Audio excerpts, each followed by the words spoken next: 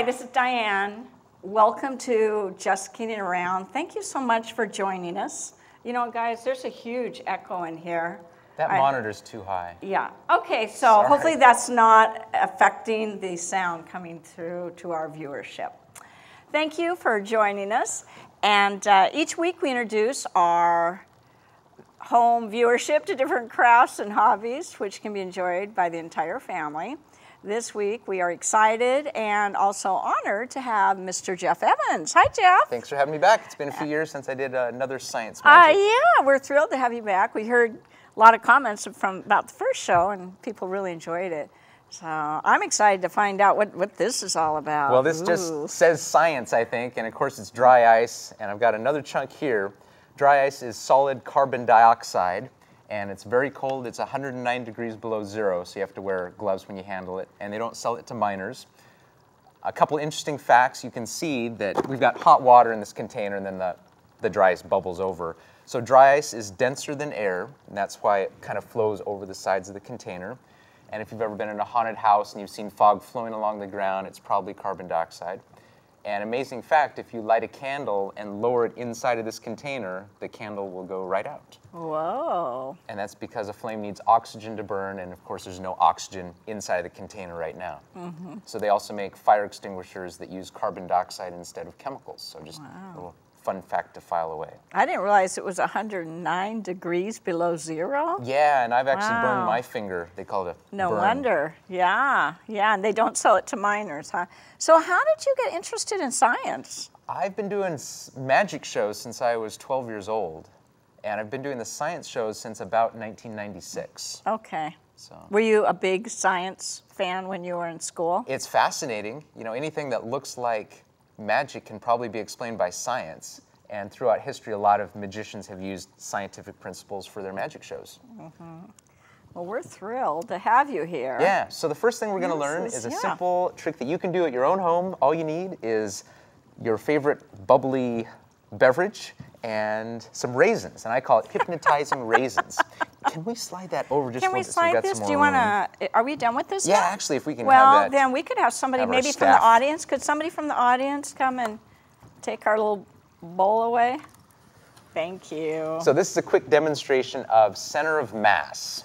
I have a little wooden device, and and I bought this, but it'd be easy to make. Basically, the the leader. you bought this two by four. Okay. Okay, I've got it. I've got it. You got it? Okay. Um, okay. oh. So basically, the center of mass of this arrangement is right at this point, and that's where that's where it balances. And it doesn't look like it's very steady, but it's actually a little it's a little more stable than it looks. Wow. You know, that kind of explains some sculptures I've seen.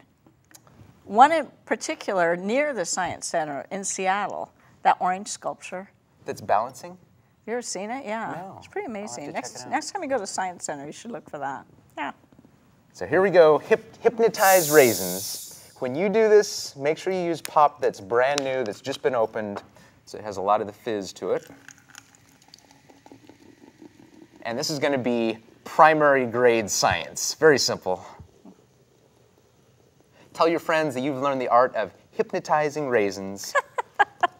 It just sounds funny.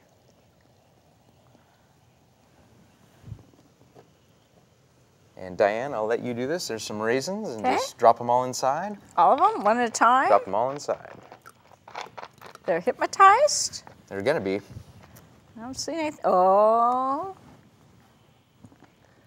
So here's where I like to use my Jedi mind powers to project them to make the raisins slowly begin to rise to the surface.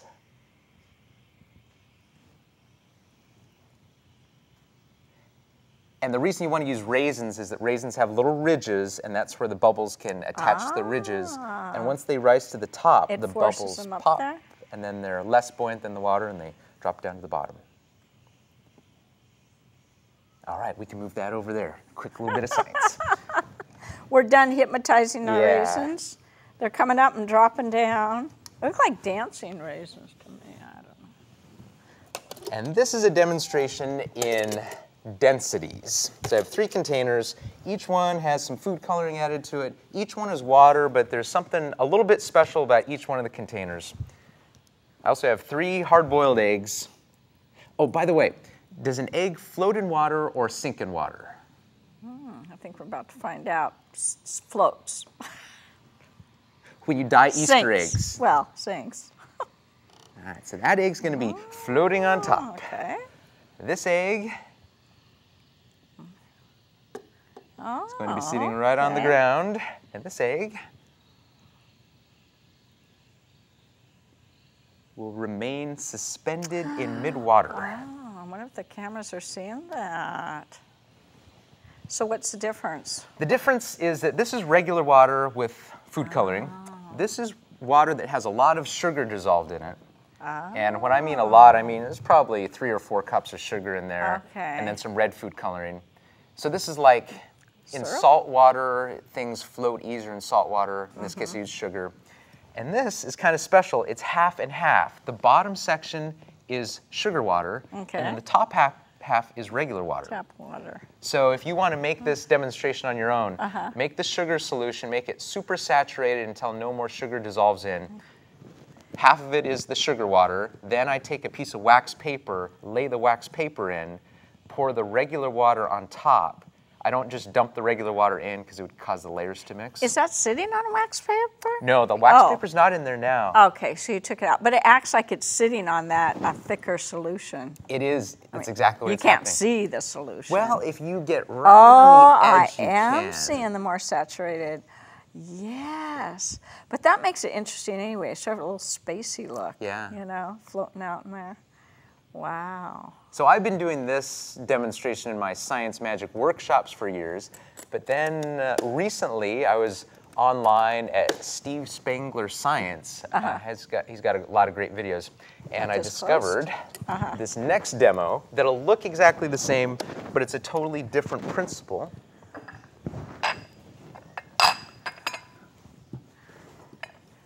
You need some Pyrex baking dishes and Wesson oil. And it turns out that someone discovered that Wesson oil has the same index of refraction as Pyrex. Oh, God. So what this means is that when the two are in a container, Uh-huh. this is Pyrex, but it, this the outside container doesn't need to be. Uh-huh. But when Pyrex goes into Wesson oil, it becomes invisible, Oh. almost invisible. So I'm going to put this inside. I'm going to Uh-huh. flip it upside down. Did a magician figure this out for a magic I, trick? I have no idea. So now my hands are totally oily. Uh-huh. Uh-oh. Do you got something to wipe them on? I don't. Jeff, you think of everything. I know, except you that. think of everything. So if the camera can kind of zoom in on that, I think you'll see that it's practically invisible. Do you know what? I might unmic myself and go get. Do you want me to get something for you? You know what? I've got something right here. What do you got? Oh, my goodness. You think of everything. Okay. Now you can take that eight ball and set it right on top of that Oh, container. now I get the oily hands. Oh no! I'm gonna. Can yeah, I just drop it? if there it? aren't any paper towels, we could probably use a paper towel. Can I You drop it? I Yeah, don't want can to break drop it. I don't want to break it, but I don't. You're not want... going to break it. Oh. So that looks kind of weird, but nevertheless, in real life, an eight ball is not going to do that in a oh, container. Oh, it's going to drop to oil, the yeah. bottom. But So I don't know what the like a angle's like, but-. Oh, someone from the audience. I think that's Rose. My gosh, how did she? How did you know? Yeah, bring that's it on up. That's kind of like magic. Thank you. Thank you. Thank you, Rose. Oh, much. and could you very carefully What? take these now that we're now that we're done with it? I shouldn't have filled it so full. Oh, Thanks. thank you. All right, so let's move right along to more science magic you can do in your own home. Do you want What? the? Thank you. Did, are y'all done with it? All done. good? Okay. Check that out. Make sure that's a real glass of water. That's real glass of water. I like to tell people that my superpower is that I can control water. I can control whether water spills. I can sometimes I can walk on water. I, I, I'm I can. anxious to I see. can. I'm Well, anxious. In the winter, if it's been long, cold for many days, I can walk on water. Oh. I'm gonna, I'm gonna flip this glass of water upside down without spilling any of the water. Now there's a couple ways of doing it. One way is ah. by using centripetal force and swinging it in a wide arc. And the other method, Got any glue there? no glue, No glue? just a little bit of air pressure. I'm gonna get this ready. Okay. So the reason this works is that air has just enough pressure to keep the postcard. Almost, almost. Okay, we'll put that away. But that shows us it really works. uh, You know, It does. It, by it usually spilling it, we know there's real you water know in it's there. real water. Absolutely. And now we cleaned our. Boy, I'm glad she brought that in. I'm glad too. Is this a little birthday cake? now? This is actually this is the way we're going to do the second half of the trick. I'm gonna pour a little bit of water into a flat pan. Okay. Now anybody can do this at home, right? Yeah, this is a great one to do at home Okay. because nothing will get too messy. Nothing's going to spill. on But the last one they could have tried at home too, yeah, just maybe over a sink or with something. With a little more practice. Yeah. Or do it outside. Got a coin, and we'll put it in the container. Ideally, you want the coin just under, underneath the water.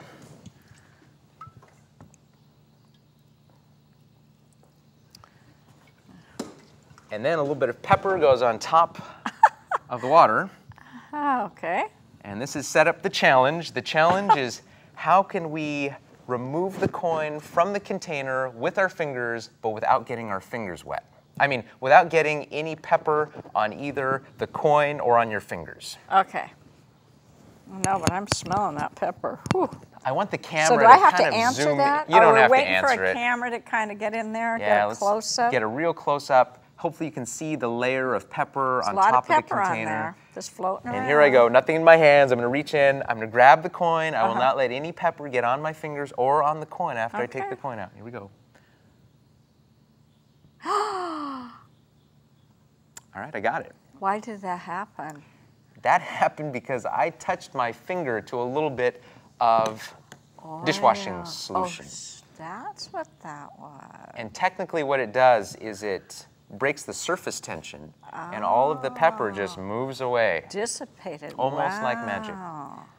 Now I'm gonna That put was the just cool to coin see. back inside, and we're gonna do the trick again. But this time, there's a new challenge. The challenge is how can we remove the coin from the container with your fingers, Mm-hmm. but without getting your fingers wet? Oil. No? Maybe you could like coat your hand with oil, Yeah, yeah. or you could freeze the water, make it an ice cube, Yeah. or you could evaporate the water. Oh. I'm sorry, that, okay. that pepper. Oh no! I'm not sorry. sick. It's just uh, every once in a while. I'll try not to breathe and then I'll be fine. Or we can use these little birthday candles. Oh, that's what you wanted to light? Are these the candles? Yeah, Oh, yeah. yeah, they should be fine. So when a flame burns, it's using oxygen and it's also creating heat. And you also want to have a glass. Usually I would say use a real glass, but this plastic glass will work too. What's going to happen is as soon as I let the glass go and it comes in contact with the water, it's going to create a suction. Okay. If you look right there, you can see all the water being drawn up inside of the glass. Oh, yeah. Oh, that's how you're going to pick the quarter up? You're going to take Yeah. all the water out of the. now I can reach in and rescue the coin. Oh. Voila. And the water, meanwhile, check is it is it going to still go up? Can they see that? Do you think close up? I'm sure they can. That the a good water's look at that. slowly coming out of this container and up into the glass. And so the bigger container you use, the more water it can suck up. And obviously, the less water you have in the container, the easier it is to get it off the coin. Yeah. And is it going to eventually take all the water out? No, I think most of the suction's gone by now, but. Okay, now it's time for you to learn a magic trick. Okay. We're going to use matches because we've got matches handy, but in real life, if you have toothpicks, toothpicks are great too. I call it the static electricity matches or static electricity toothpicks. So I'll, I'll do it first and then I'll show you how to do it. Balance it right there. Just getting a little bit of, gonna little bit of static electricity. Now you're definitely going to want to zoom in pretty close to that match because as you know, when you have two objects that mm-hmm. have the same electrical charge, they, they repel each other. They want nothing to do with each other.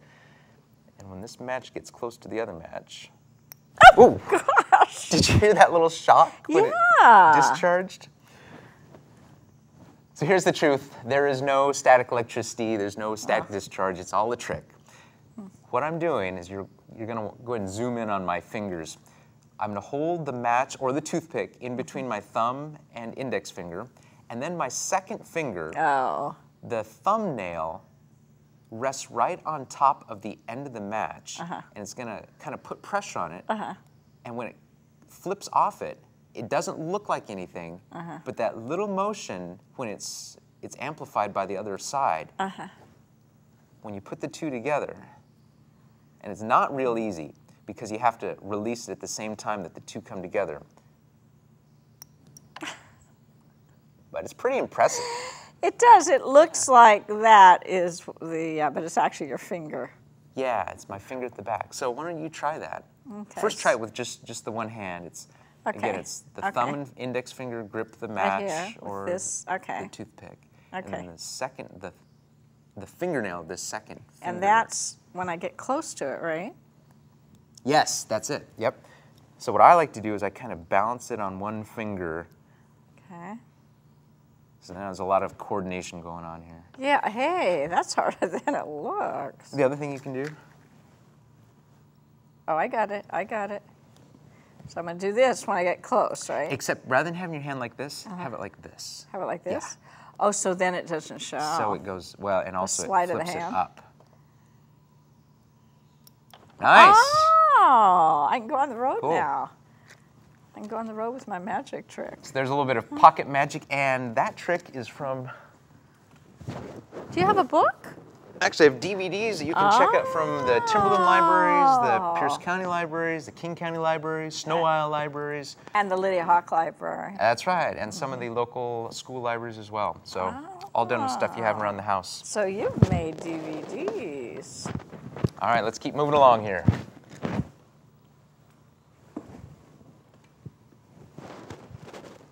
Have a ketchup packet inside of a pop bottle. And you're probably wondering, what is a ketchup packet doing inside of a pop bottle? Yeah, I want to know that. And I, I'm gonna attempt. But there's water in there, right? Yes, it's totally filled with water, Okay. and ketchup packets float, so that's why it's floating on top. But this is a demonstration of Okay. psychokinesis, the ability to move objects with your mind. Oh, yeah, all right. So as I concentrate on the ketchup packet, it is slowly becoming heavier. Very slowly becoming heavier. oh, and your mind's controlling that. That's because you're, you're staring at it. Beginning I'm to staring at it, fall towards the bottom and that's it's my mind and my eyes. Kind of like Matilda, only she made things kind of move up. I'm staring at it. I'm making it move down. Wow. And of course, you can command it to rise back to the surface again. Wow. You do My have to do powerful. A, you have to do a little bit of homework to make this work. You have to find a ketchup container that floats.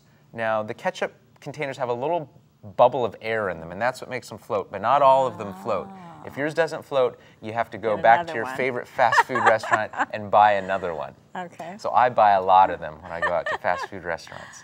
And then the secret is that when you press on the outside of the bottle, you can do it. Use two hands. It's, you have to put a bit Okay, of pressure I'm gonna on just stare at it. I'm not gonna use Okay. my hands. I'm just gonna stare at it. Oh, and you know what? I think I'm gonna I'm gonna just make it stay, stay, stay, stay. Wow, that's how that's how powerful my mind is. So the science is that when you press on the outside of the bottle, it compresses the bubble of air that's in the package, in the ketchup package. And then as the bubble becomes smaller, then it has less buoyancy and it sinks to the bottom. Do you know something about this container though? It's it's um, sturdier than most pop bottles. This isn't a pop bottle, is it? It is. It's just It's really full with water. I And that's it what makes it so strong? Yeah. Oh, how do you get your ideas? Do you uh, make some of these things up? Do you get them online? Do you read books? I didn't make up any of these. I check out a lot of books on science and YouTube is also a great way to learn Yeah. learn stuff. Are you on YouTube? I am. Yep. Oh. Yeah, if you just search Jeff Evans magician, you can Yeah. probably find me. You can find me there. Postcard for you, postcard for me. The challenge is how can you cut a hole or any sort of an opening in a postcard that you can put your body through, like walk through it, step Mm-hmm. through it. Okay, I'm not sure. And I'm just going to show you how it's done. And actually, we can both do this together. Let me get Together?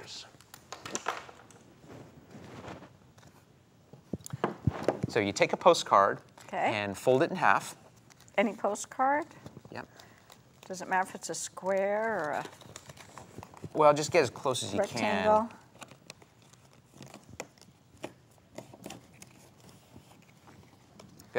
And take your scissors, and we're going to cut a, a bunch of Slats? a bunch of Lines? lines in it. Yeah, but not all the way to the end. Let's do like oh, eight eight cuts.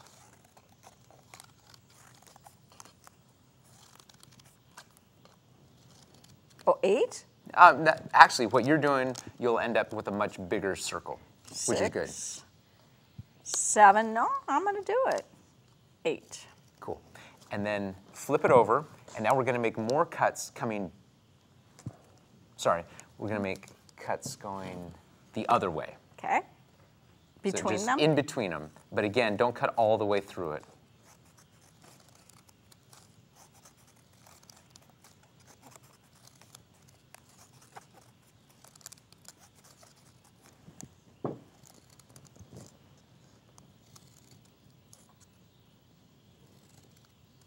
Okay, good. And then open it up.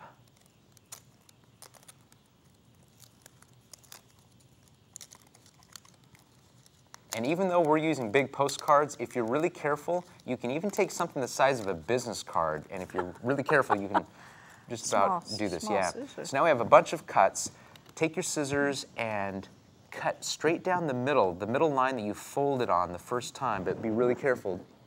You didn't start the very first one, though. Okay, so yeah, let me explain. Don't cut through that end, but start just in. So you will be cutting through slits, and that's fine. So you would start right there. Yeah, but where am I? Aren't they going to fall off? Yeah, but it's okay. Okay. Ooh, seems like, okay, got Good? it. And now you just kind of pull it open. Oh, the kids would love that. Then what do you do? Where's a necklace? You could The wear it as a necklace. would? Yeah, now if you ha- make enough lines, you can actually put your entire body through it. But you could do this with construction paper, or anything. Oh, sure. With bigger piece of paper. Absolutely. Uh, does it have to be like a heavy stock or something? You couldn't do it with typing paper or something. of You that can, way, but it would that way? rip easier. Oh, the kids. Hey, but let's keep this. moving on. I'm Let's- gonna let's teach put these away. We need to- school. I'm gonna teach these at school. This is kind of along the same lines. Can I get your autograph? Get your autograph. Yeah. The reason I want to get your autograph is I want you to know, and I want the viewers to know, Mm-hmm. that what I'm about to do is all one piece of paper, and I'm not going to switch pieces of paper. So maybe put your name Oh. right there. This right there, at the, towards the top. Yeah. And I call this 3D paper. All right, great.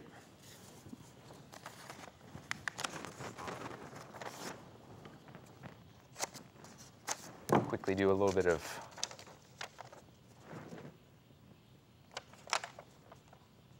a little bit of origami. Fold this back that way.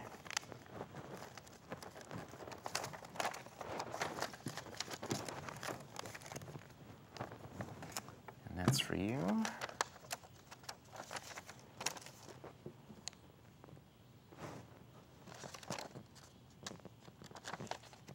Do you want me to sign a different piece of paper? Hold on, let me let me think I probably signed it in the wrong spot.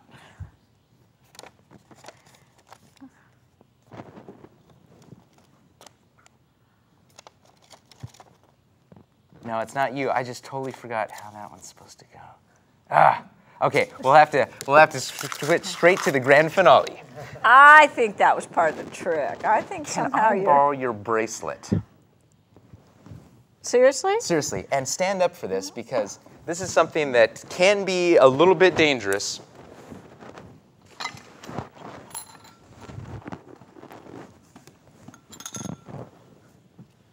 You're just gonna have to trust me on this. Is this related to the other trick? this is not related to the other trick. I have a glass tied to the end of a string. I've got a, a washer on one end because you're going to be holding onto the washer, and I don't want you to let go of the end of the string and let the glass break. no. Can I, don't see your, that. your bracelet? I took that one off. I, which Or- one would work oh, better? um, Watch probably the bracelet? Does that It's magnetic. magnetic? Perfect. Let's slide that anything? in there. I just want your bracelet to be near. Okay, right there. So we have a lot of fragile things on the end of this string. And this spoon is going to complete the puzzle. So I want you to hold this in your left hand. Going to drape Can I do the anything? glass over Oh, the top of oh, that. Okay, Why don't you hold on to this? And make sure you pull that string over so that we've got, got it hanging in midair. Now you know, drops. you know that Okay. if you were to let go of this, that that glass and your bracelet is going to go crashing down towards the table or the Yeah, floor. and break. So you're just going to have to trust me. I'm on not the sure count I of three, that I want you to hold on tight you. with your left hand. Hold on tight with your left hand, Okay. but let go of the washer. Let go of the washer? Let go of the washer. Yeah, but make sure you're holding your left hand up high enough. Here? And this is the trick that's going to amaze you. Actually, On I the count of three. You're saying let go, let I'm- go of this? Yeah, I mean, you know, just don't let go, but just kind of move the washer that way. Which oh, I direction? thought you meant let go. Like here? Yeah, so you can see that if you were to let go, you know that that's going to Well, land yeah, on the ground. Yeah, that's going to land on the ground. Okay, so now And break. hold back a little bit. Hold on tight with your left hand. Okay. And this is science that's going to amaze you and the viewers at home. On the count of three, just let go of the washer. No, but hold on tight just to the let- spoon. let this out of Hold my on. hand. You're going to let go of that, but you're going to hold on tight to the spoon. On the count of three. Ah. One, two, three. Wow. Oh, that almost You almost have to the try that at home to believe it. When you do it at home, I don't use I a glass. I can't believe that. It's, oh, it wrapped around. I didn't even watch it. My eyes were closed. I was like 99% sure that was going to break on the floor. The first time I thought I did it, I thought the same thing. Oh my gosh. So, do I unwrap it now? You can unwrap it. But now I'm going to hang on to that washer. Wow. So, it didn't, did that just add weight to that? What was the point of putting the bracelet on there? Oh, that's just for suspense. Oh, nothing to do with anything. Oh my gosh. Well, Jeff, thank you so much for coming. You bet. Thank you. These were all different tricks. Remember last time we had the ice cubes? Yes, that's a good one. The ice cube. Yeah, you got a lot of things for me to go home and think about and practice. And actually, if you search for Jeff Evans Science Magic, you can find some other videos online. Okay. So And I think um, the ending credits, you'll see contact information on. You have a fan club. Oh, you can find me on Facebook, sure. Yeah, on Facebook, he's got a fan club. So thank you so much for joining us, and thank you, Jeff, for coming back. Thank you. And if you see Jeffrey, it's because he's all around the county, the state, actually, Mm-hmm. aren't you? Performing, uh, performing magic. Thank you very much for coming. Thanks to John Amos for running camera. Thanks to Jerry Jillian and Jim Elder, and thanks Tom Dubuque, who's right inside there. He directed it. And thank you, Mr. Evans or Jeff. I don't. Bye. Join us again for the Just Kidding Around Show.